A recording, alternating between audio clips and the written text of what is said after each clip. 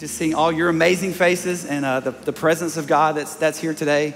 It's just tr- truly incredible. And of course, we just joined all of our campuses. I do want to take a moment and say hello to all the locations across the state of Alabama over into Georgia. We love you guys so much. Also, today, just so grateful for all of our campus pastors. Pastor Blake, right here at Grants Mill, and all of our locations. Just want to say we love you and we're so grateful for you. It's one church, one big family, which is amazing. Also, want to say hey to everybody uh, who is joining us online or on demand at some point. And of course, as always, the men and women of the Alabama Correctional Facilities. I know I had you clapping a lot. One more time, though, put your hands together for your church family.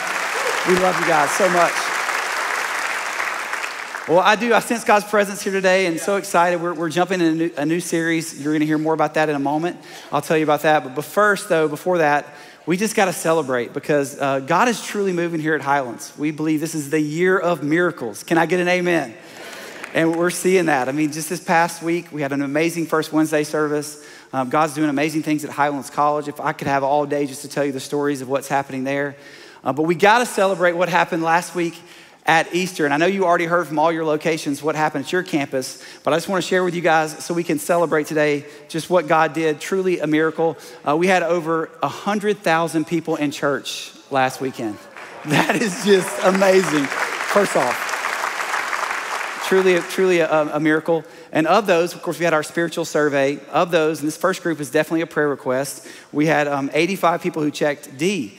And if you weren't here last Sunday, that just means someone checked the box that says, I don't ever intend to choose a relationship with Jesus. And if you're one of those 85, I do believe there are some of those who are here or maybe uh, joining us online. We just want you to know we're praying for you and we're so grateful for you. And of course, we're going to continue to pray that God does something great in, your life. This next group is a big prayer request as well. And I'm so excited to say actually that we had 1,882 people who say they're just here, they're, they check C, they're just here checking us out. And I just, I think it's amazing that we have a church that allows this, that you can belong before you believe. And so if you're one of these people right here, the 1882 that are just checking out Highlands, welcome. And just we hope you experience God's presence today, and we're, we are praying for you in a big way. But this next number, everybody, is a true miracle.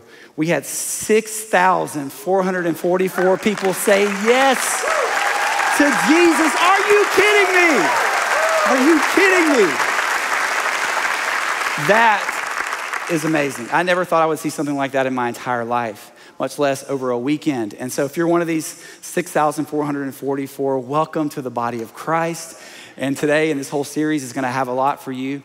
Uh, but I just got to say thank you. Um, thank you to all of the Highlands family. Thank you for your generosity.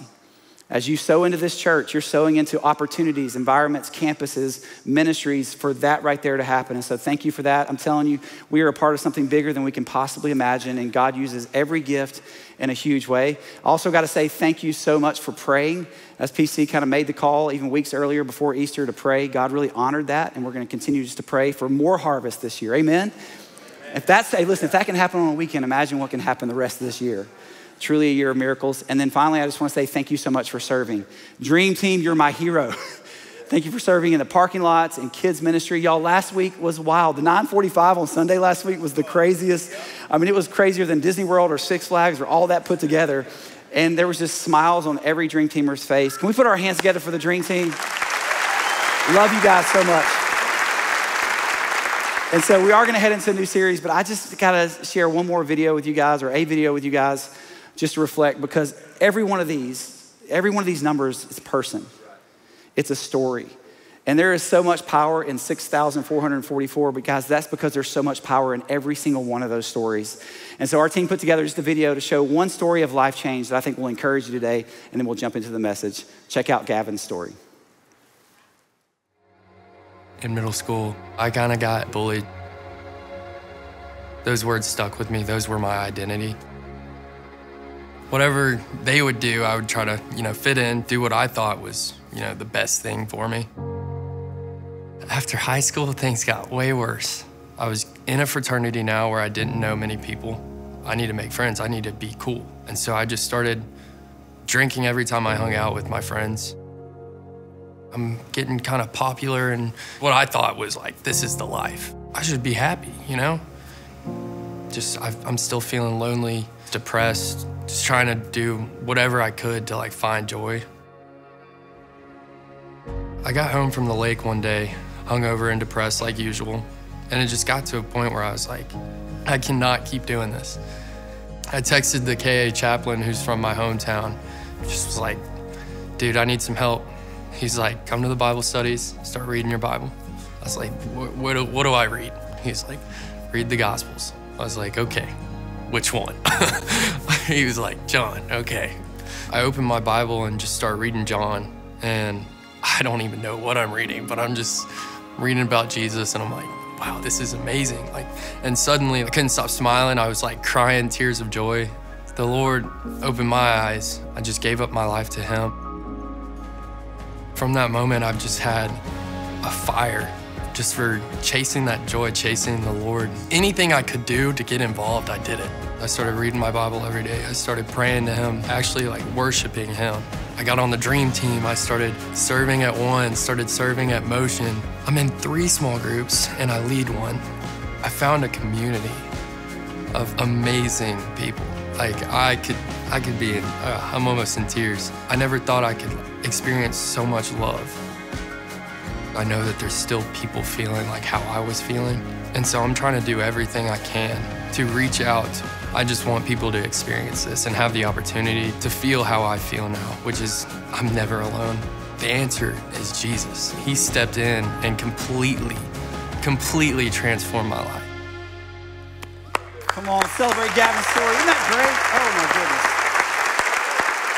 I love it. I love it. And as I say to you, Gavin, there's clearly a call of God on your life. There's nothing like seeing a young person fall in love with Jesus and know they have the rest of their life uh, to make a difference. And so we're all honestly somewhere in our, in our spiritual journey, and that's where we're heading over these uh, next seven weeks. And I love everyone who's made a decision, and we're believing for everyone who will. But the truth is, God has more for every single one of us. And so I'm really excited that our next series is called Disciple.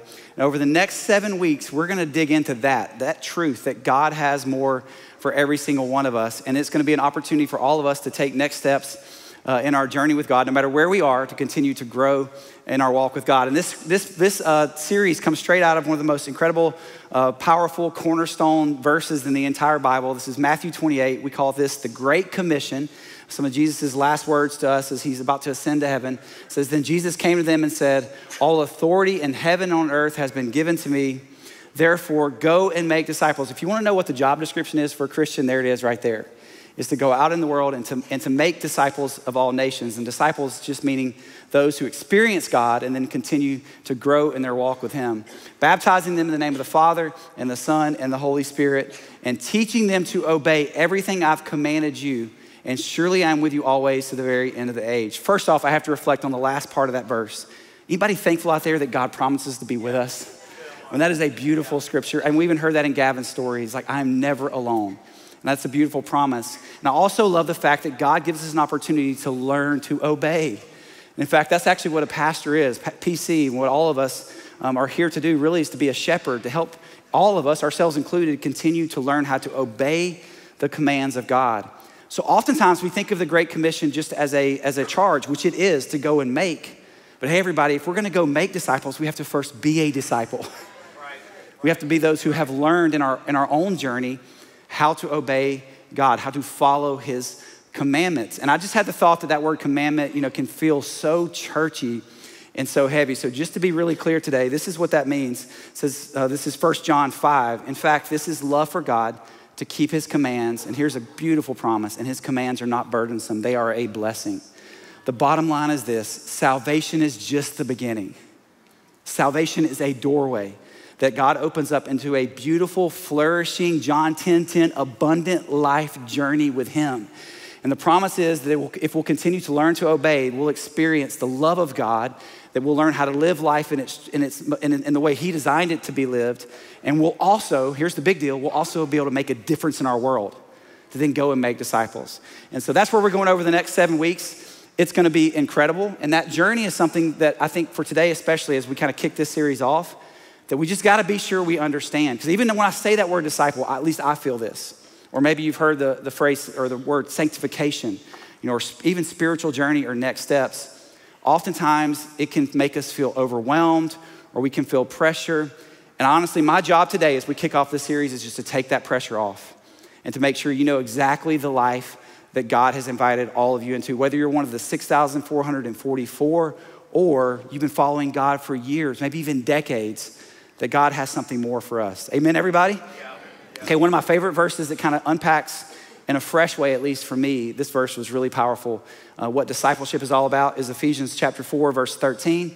And this is what God invites us into. It says, This will continue, this journey of growth, until we come to such unity in our faith and knowledge of God's Son that we will be mature in the Lord, measuring up to the full and complete standard of Christ. So, this is God's goal for all of our lives. No matter where we start, that we'll go into this journey and that we'll experience maturity and that we'll ultimately experience the full and complete measure of the standard of Christ. And this is what that, that text means. In the original language, that word mature is the word teleos. And this is a beautiful promise that God wants to finish and complete our lives. We all have weaknesses. We all have holes in our life. We all have ways, you know, we've all sinned and fallen short. We have things we were born with or we've invited into our lives. And God's promise is He'll step into any of those areas and He can make whatever is weak strong. Can I get an amen in church today? But here's the deal, and this is why there doesn't need to be any pressure today. He doesn't do it all at once. In fact, this next phrase, full and complete, means that which has been filled. But God is not like a dump a bucket on you kind of fill God. In fact, this word is the word pleroma in the, in the Greek, and it's actually a word picture of like a ship being filled. And you don't fill a ship, you don't just dump all the containers on a ship. What do you do? It's one piece at a time, one thing at a time. God's promises, you're gonna be finished and complete. If you'll follow God, if we'll follow God, God has great things in store for us. It's a beautiful life, it's a spiritual journey of growth, and it's gonna happen. Here's what discipleship ultimately is one step at a time. So take the pressure off, take the weight off. The key is getting into that journey, letting salvation be that door for us. So here's the big idea today. In fact, this is the title of the message. No matter where you are in that spiritual journey, I just want you, if you get nothing else today, this is it, all right? To, to, to believe this promise today, and that is no matter where you are, God has more. Come on, look at your neighbor and say, God has more. Your other neighbor, say, God has more.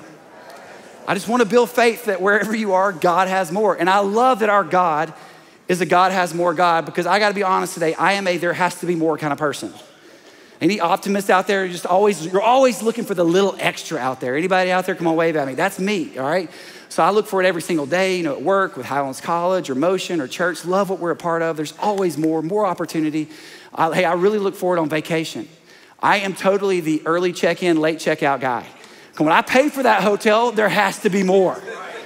Come on, where y'all at today, all right? Hey, listen, when we go out to eat, y'all, I've told you guys before, we have four boys. Listen, going out to eat is a big deal. So, nine times out of 10, we go to a Mexican restaurant. Why? It's the glory of God, but there's more free chips and salsa. And if you want a parent hat, go to Chuy's. It's our favorite. They also give your kids a dessert. Are you kidding me? It's amazing, right? Because there has to be more. This is true. This is like I'm being vulnerable with you guys today. I never like going to sleep at night. And this is actually true about me. You can ask my friends. I always feel like going to sleep is giving up. It's like, all right, it's over. All the fun's been had. Let's just go to sleep. I actually, just so you don't, I'm not unhealthy. I do like sleep, but it's the moment where we're like, that's it? It's just time to go to bed? Anybody out there? Just like, just me? That's awkward. Okay, I'll just keep moving, all right? So anyway but there has to be more. And I think, I think a lot of us are that way because honestly, America is a totally there has to be more nation. We are the home of the infomercial. 1995, but wait, there's, oh, y'all got a little more in you than that. But wait, there's, some of y'all have bought something off a TV commercial, not because of the product, but because there has to be more. And when all of this is in our culture, you know, we have supersize, which I think technically is now illegal because it was killing us. But we are the home of supersize. We're the home of venti. Like you can go to Starbucks and there's, there's you know, every, you know, the tall, the grande. No other country on earth, I do believe this is true, has a venti coffee. There has to be more in America. You can get an XL pizza. And I'm just going to, take a time out from the message from a moment because I do have one little soapbox illustration today. I feel a little bit like Pastor Dino, but I just got to go there. Because one of the ways there has to be more in America is with water containers. So I grew up in the 80s, and in the 80s, all you needed was a cup to drink water out of. And I gotta be real honest, we didn't drink a lot of water. It was mostly Tang. Come on, Capri Sun and Sunny D, which they tried to market as healthy and it's like full of sugar. But anyway, so like, like there was this, and then after that, you know, we got convenient with it and we launched the water bottle. And that was, that you would think that was enough, but come on, there has to be more. And out of nowhere came the Nalgene. And if you've ever seen an Nalgene, it always looks just about like this. It's got stickers all over it. It's like the whole cool vibe. If you got an Nalgene, you got to have it looking just right. And then we try to get artsy with it. And some of y'all remember the S'well bottle. Uh, y'all, it, S'well bottle, anybody? Okay, it's kind of also a weapon. You can literally hit somebody with this thing. But then, for the, the glory of God showed up, and we got the Stanley Cup. Oh, yeah, somebody just got saved right there, the Stanley Cup. I see them, y'all coming to church with them, and sometimes you drop them and they're really loud. But hey, there's got to be more.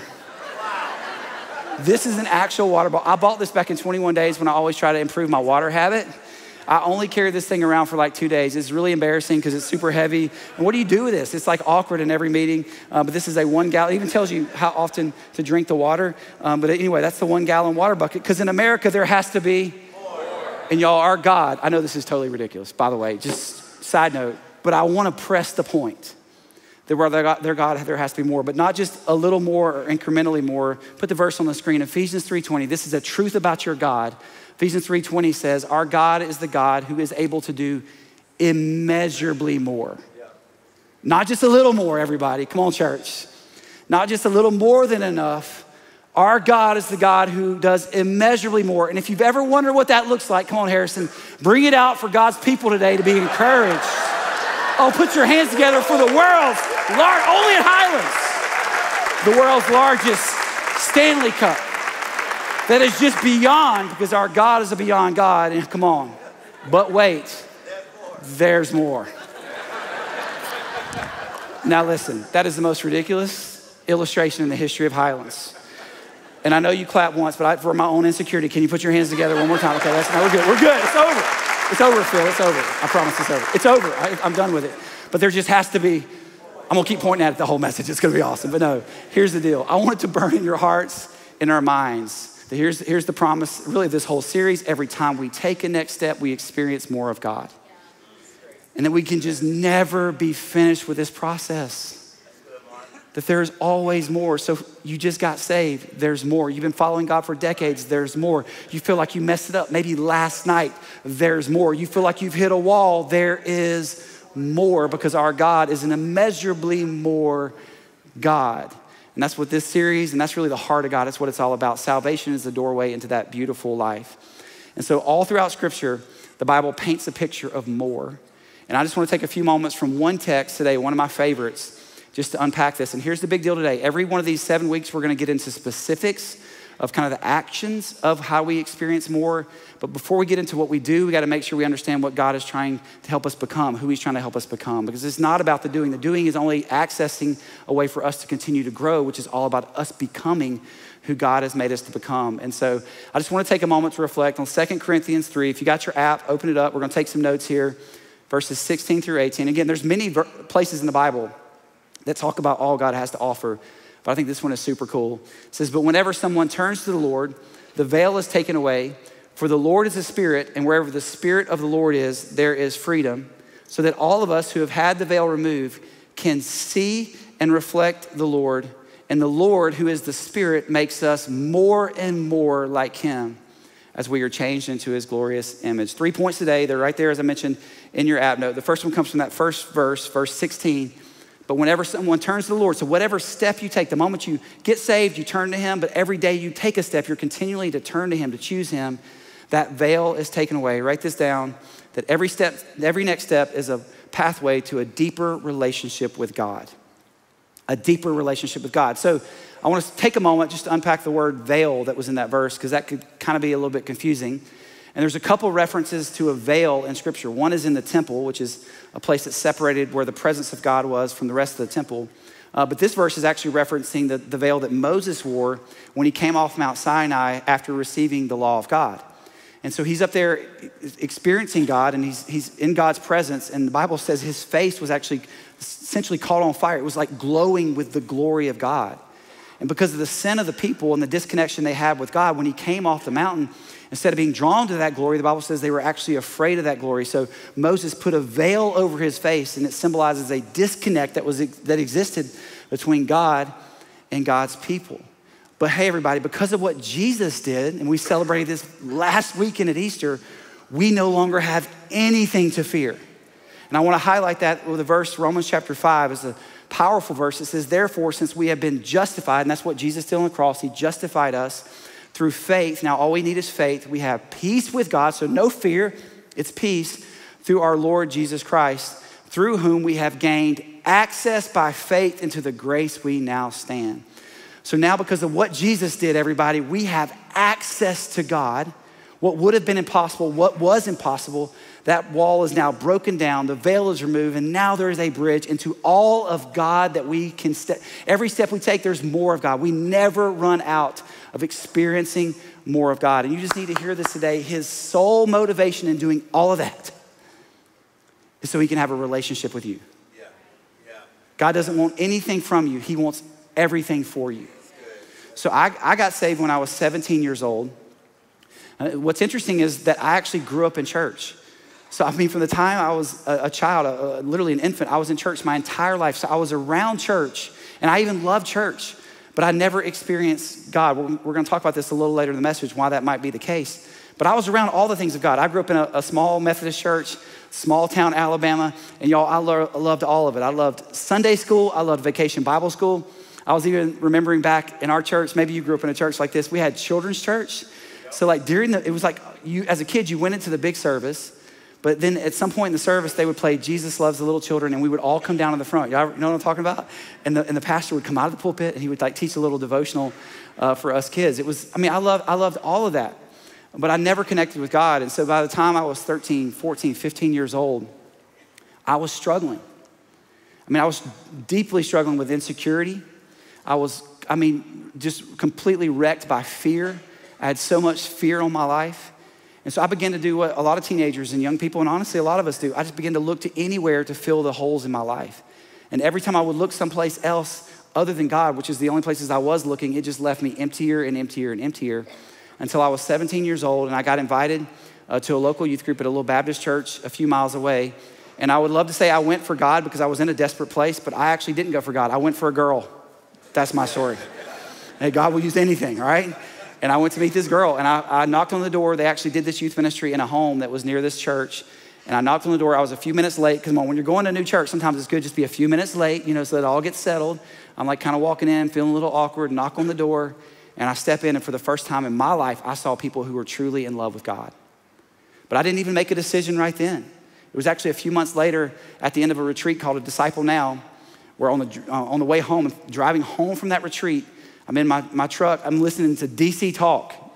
Anybody know DC Talk? Come on, witness, testify. TobyMac. He's still got it. I'll bring him out right now. If he can come out here, he would do it. So I'm listening to DC Talk, and I'll, I'll never forget. I pull over on the side of the road, begin to weep, and I ask Jesus into my heart. Y'all, I was still a mess, but I had Jesus. And what I knew immediately and how I knew it was real is that fear. There's a lot of things I've continued and continue to work through, but immediately the fear was broken off my life. And I knew beyond a shadow of a doubt, God had done something great in my life. And in the first weeks and months, it was just like continually experiencing Him. And here's, the, I want, I want us actually to respond to this because I think if you've been following Jesus for a while, you know what I'm talking about. If you'd asked me when I was 17, like, is this as good as it gets? I'd have been like, it can't get any better. This is amazing. But now, 25 years later, all I can say is this this is my testimony. It's just kept getting better and better. Come on, where are you out today? God just continues to do it. It's, it's hard to describe all I know is this He's given me access to a relationship that just keeps getting better and better and better. And that's what God has for you. Every next step is about knowing Him. I love this quote from Brother Lawrence. He says, The more we know Him, the more we will desire to know Him. As love increases with knowledge, the more we know God, the more we will truly love Him. We will learn to love Him equally in times of distress or in times of great joy. And I love that last line let us occupy ourselves with knowing God. Every step we take, we grow deeper. It doesn't matter where you start. I started at 17. Maybe you're starting uh, right now, today, and you're 30 or 40 or 50. I've seen 70, 80, 90 year olds give their heart to Jesus. It doesn't matter. God can take you right there, and every step you take, you'll get more of His peace, more of His love, more of His wisdom, more of His forgiveness. God just has more for you today. It's a beautiful promise. Come on, God has more. Here's number two, and that is also every step we take, we experience a life of true freedom. And this is a beautiful promise from God. This is the second part, or actually verse 17 of 2 Corinthians 3. It says, For the Lord is the Spirit, and wherever the Spirit of the Lord is, there is freedom. When I teach this, I love to highlight something that actually is a little bit counterintuitive, and that is the fact that freedom and lordship are connected. And if you want to know what lordship is, an easy way to think about it is lordship. The lordship of God is a, is a space that has boundaries, it has borders. It's a, it's a zone where God says, if you live in this, you're under my lordship, you're under my ways, my word. And when we live in that space, the Bible says we experience freedom, but that's not how we normally think of freedom, especially right here in America. And I just wrote a few of these down, and they're, they're obvious, but just to highlight the fact is normally when we think of freedom, we think freedom is living with no boundaries. So we think freedom is when we just throw all restraint to the wind. And we have entire industries that are created about giving us here in America and around the world the opportunity just to cast off all restraint. I mean, even, come on, the city of Las Vegas is built on this principle. the, the marketing statement for Las Vegas is what happens in Vegas stays in Vegas. The illusion that you can have no boundaries in this place, just do whatever you want to do, and that that's freedom. But hey, everybody, if you've ever tried anything like that, come on, it is the worst thing ever. It promises a lot, but it underdelivers. My favorite holiday is Thanksgiving for a lot of reasons I don't have time to go into. One is it just, there's no pressure of presence. To me, it's food and football. How much more Southern can you get than that? Praise God for Thanksgiving. We should have it year round. It should be every three weeks, Thanksgiving. I don't know. But one of the things I think about when I think about Thanksgiving is the, the eating involved in Thanksgiving is it's like a once in a year opportunity that I personally prepare for. So I'll go like a day or so not eating very much because I'm, I'm ready to cast off all restraint and fill my plate with turkey and ham and casseroles. Come on, where y'all at? And all the, and listen, my wife can't let her food touch. I let it all touch. It ends up being just all one big. And I don't stop at one plate. I go back for the second plate, and then oftentimes the third plate. And then I hit that dessert, that pecan pie, which is just the best ever. And about two o'clock that afternoon, I feel like I could die. Because anytime we cast off restraint, we end up regret with regrets because freedom is not no boundaries. But here's the second one, and this one is definitely current right now, is that we think freedom is living with my own boundaries. Well, I'm gonna have my truth. That's a phrase right now we use all the time. I'm gonna have my truth. So maybe even pick a little bit of God, but a little bit of what I want, or maybe from this other religion. I'm gonna mix it all up. And actually, many people who are studying America right now talk about the pluralism of America. We kind of all have our own miniature religions, just a little of this and a little of that. And the bottom line is it's not freedom. When we create our own walls, all we're doing is walling ourselves off from God. That's good. That's good. Because freedom is ultimately only found in His boundaries. True freedom is living inside the boundaries of God.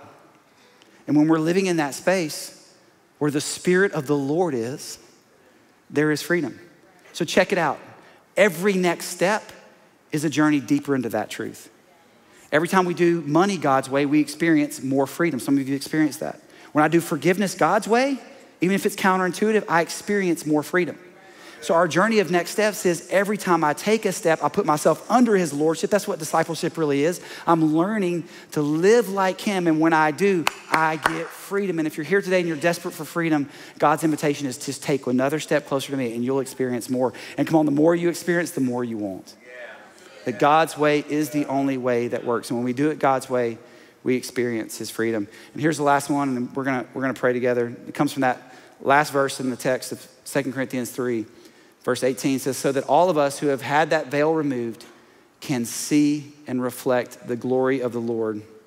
The last one is this every time we take a step, we get really more clarity on our role in God's mission. And this ties right back to that great commission we read earlier that there is a mission that God has for the earth. And every believer is invited into, and that is to go to be a disciple so that we can go and make disciples. And the Bible says when we do that, what we're really doing is we're showing the world God's glory. And I know that's another, it's kind of today maybe a theme. It's like a lot of words kind of that can feel churchy, like commandment or glory or veil. But can I just tell you, this is a beautiful word. And a great way to understand glory is just that glory is ultimately the weight of God, or maybe even a better way to say it is, it's the sum total of all of God's attributes His love, His peace, His joy. It's all of who He is. And the cool thing about God, it's like the sun. God cannot contain those things. He is always radiating those out, like the rays of the sun that coming off our God are all of who He is. He's never withholding, by the way, any of who He is. All of who He is is eternally heading out into our, our world, into our lives, if we'll open our hearts up to Him. The crazy thing, though, is until we get saved, I mentioned this earlier in my own story, We can be all around it, but may not see that glory. In fact, there's a reason for that. This is from 2 Corinthians as well. It says, The God of this age, the, the devil himself, has blinded the mind of unbelievers so they cannot see the light of the gospel that displays the glory of Christ, who is the image of God. But when we turn, the veil is removed. And the Bible says in verse 18, we just read it, two things happen. Number one, we now see it. And that's what I try to tell people a lot of times in the South, at least, we think of, of, of, our faith like, you know, a lot of times church attendance or whatever. And I'm like, oh, no, no, no. The moment you get a relationship with Jesus, your first response is, oh my goodness, he's amazing. Yeah. Yeah. I had no idea how beautiful God was, how real he was, how powerful he was, how much he has for me. And let me tell you something when we see that, all we do is want more of his glory. But the really cool thing is this it doesn't just say we see, but as healthy followers of Jesus, that great commission life, we also reflect that glory. Right. Right. And, and living our life on mission for God is as simple as this being a mirror for God. We do some things, to, we share our faith and we serve, all those things are actions, but they come from a place of reflection. All we're doing is seeing God, and just like a mirror, we're then reflecting God to the world.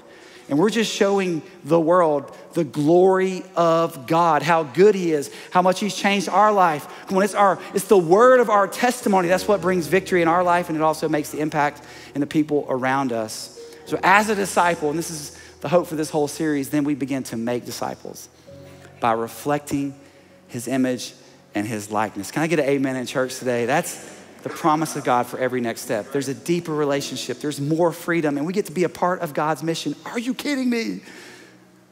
What a beautiful promise. That's discipleship. That's what God has invited us into. And it comes with ultimately with this promise, the last part of our text today. And the Lord, who is the Spirit, makes us more and more and more and more like Him as we are changed into His glorious image. I've said it, I'll say it again. Doesn't matter if you start at 17 like me, you started last week at Easter, you start today, because I'm believing that's going to happen here and at every location, where you gave your heart to Jesus at 50 or 80. It doesn't matter. Wherever you start, God takes you from there and He takes you into His glorious image, changed into His likeness. That's where we're going in this series. The powerful thing is this the weight and the pressure are off. Come on, we're not where we want to be, but we're not where we used to be. That's the promise of every single step. So here's the question of the day, and really the question of the whole series is if God has all of this more in store, then what are we waiting for? And I know that rhymes, by the way. I really worked hard on that. That's just, you know, side note. Um, that was for all of y'all. If God has all this more in store, it's a powerful question. Then what are, what are we waiting for? What are we waiting for? I say we start today. So, all these seven weeks are going to be about next steps, and we're going to continue to grow deeper. But if you are okay with it, and this may be breaking some kind of international law. I'm going to, I'm going to cancel for the next three minutes and 42 seconds the hassle free guarantee at Highlands. It's canceled. That may be first time ever. We're canceling it because all of us need to take a next step. So, my encouragement today, my prayer today is every single one of us taking a next step today. So, to help you with that, and your campus pastors talked about the app earlier. Uh, to help you with that, we actually created a new page on your app today. It's on the home screen of your app. It actually looks like this right here. That is a link you can click on, just allows you to see kind of the, the next step menu here at Highlands. And this isn't even not all the next steps, but this is a lot of them. And we divided them in different categories around our vision, how you can continue to know God, beginning a relationship with Him, or being a part of church on a weekly basis, spending time with God. A beautiful next step, by the way, under knowing God is today. We actually are, are having water baptism after every single service today. And it's a powerful next step. In fact, if you're one of those 6,444, this is your next step. Or if you're someone here today who has not made that decision, you've, you've, you've, followed Jesus, you've given him your heart, but you've never gone public with that through water baptism, this is your next step. And we have everything from a change of clothes to people who will take pictures, everything you will need uh, for this to happen right here today. And my encouragement is I'm spending a little bit of time here because it's a powerful next step. In fact, I gave my heart to Jesus at 17. Maybe a little embarrassed to say, I didn't immediately get water baptized. Maybe that's your story. For me, there was a couple reasons why. First, I didn't really understand it. I didn't understand that it was a command of God. It was not optional. We read it earlier in Matthew 28. Jesus says to be baptized as a disciple. And honestly, secondly, and this is just my story, I was honestly a little embarrassed, embarrassed to go public with that. I have no idea why looking back now. I don't know if I was embarrassed to do it in front of my friends or just really, it was ultimately the tension in my own heart is if I go public with this thing, I'm not turning back. And I'll never forget finally deciding to make that, that, to make that decision and going to my parents. And I was afraid they were going to be upset because I'd been sprinkled as a, as a child. Maybe that is you as well. I kind of, in, in, our tradition, they sprinkled you and I'd already been confirmed. And I thought for some reason that would like dishonor all that. And it, it was nothing like that at all. That was a beautiful thing that we did. It was a great tradition, but it wasn't the same as being baptized as a believer. So at 17 years old, I invited my family, I invited my friends a couple months after I got saved. And I'll never forget, they put a robe on me. I walked down that aisle and I went in that water and I came out of that water and I, there was no turning back for me. That was the day that I said publicly, I am with Jesus. And I'm just encouraging you, if you haven't done that, do it because there have been many hard days in my journey with God where I have looked back on that and said, that has, has been a rock for me in my faith. I can't turn back because I am with Jesus. And even after our last service, we already have people getting baptized. I got a couple pictures. I went over here, it's at the, the in the theater. Went over to see. This is Elizabeth, everybody, who's a college student over at Bama. And she had given her heart to Jesus, but she had never gone public with her water baptism, with water baptism, with her faith. And y'all, she got baptized today. And just had the most beautiful look. Come on, put your hands together. Isn't that amazing? This happened this morning. And this, this can be your story today. And what I love is that after she shared that she was gonna get baptized, y'all, her mom got baptized as well. This is her mom, Margaret, got baptized as well. That was after the last service. So if that's you, do not hesitate. Do not hesitate. Take that step. Uh, on that next steps menu, you're also going to see ways you can continue to, to find freedom and discover purpose and, and even uh, to make a difference. In fact, tonight, a great next step, maybe if you have never gone through the growth track, step one is tonight, which is a chance for this church to become your church and all of your campus pastors let you know where that happens and when that happens. Bottom line is this we have an opportunity to take a step, and we need to do it now. This is where we'll end. I know this is a massive leap from a giant Stanley Cup to the law of inertia, but here we go. An object at rest tends to stay at rest, but an object in motion tends to stay at motion. The key is just, just to get moving. So here's our prayer God, what is my next step? Write it down and let's pray together today. God, thank you so much for your amazing church, for every person in the sound of my voice. And I know beyond a shadow of doubt, because it's all throughout your word, and it's been my experience, is that you have more for every single person. God, I pray that you would speak so clearly in this moment. We make room for you with no distractions in this moment for you to speak. I want to speak to a very specific group of people here today. Maybe you were a C or a D last week, or maybe this is your first day in church, or you just have been around for a while, but you've never truly given your heart to God, I want to give you a chance to take that beautiful, most important next step. We will never embarrass you or call you down front at any of our locations. But if you're ready to give your heart to Jesus, here in a moment, I'm going to have you just lift your hand and we're going to pray together. And you know this is you because God is knocking on the door of your heart. And what He's inviting you into is an experience with Him as your Savior and as your Lord. And as your Savior, what God is offering today is a chance for you to be forgiven of your sins. Literally, the Bible says your sins are, are, as far as the east is from the west, for once and for all, for the weight and the condemnation and whatever it is that the enemy's been throwing at you to be broken off. And just like I experienced, you just get to immediately step into a life of freedom and a life of the power of God. But He's also inviting you into an experience with Him as your Lord. And he has a way for us to live. He's inviting you into a discipleship journey where he, want to, he wants you to continue to grow closer to him and experience more of his freedom and a lifelong journey of more and more and more. And if that's you today, it's not about church attendance.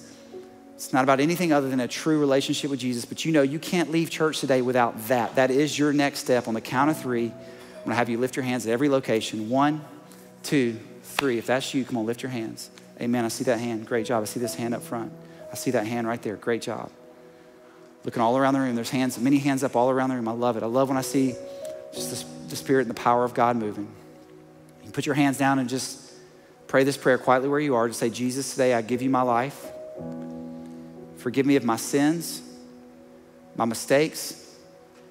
I'm turning away from all of that, and God, I am running to you. Be my Lord, my Savior. And God, fill me with your Holy Spirit so I can live for you for the rest of my life. God, thank you for all those who just made that amazing decision. We bless them, and God, your word says all of heaven is celebrating right now that decision. The old is gone, and the new has come. God, I just thank you that you have opened a door into a lifelong journey of change and growth. God, we pray blessings over them. God, I pray now for each of us, just right there where you are. Let me pray for you. God, for all of us, as we ask you what our next step is, that whether we have been following you for decades or we're just starting this journey, that all of us would take that next step. It's time to get moving. God, that you've invited us into more. And God, today we say yes to that more, more of you, less of us. And God, we thank you that you're going to be with us all on the way. We give you all the praise, all the glory, all the honor. In Jesus' name, everybody said, Amen. Can you put your hands together and celebrate all those who just made that?